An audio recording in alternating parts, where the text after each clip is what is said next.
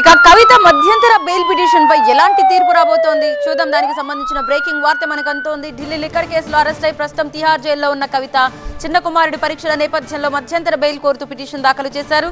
ఈ పిటిషన్ పై ఇవాళ విచారణ జరపబోతోంది. రావు రావుస్ రెవెన్యూ కోర్టు.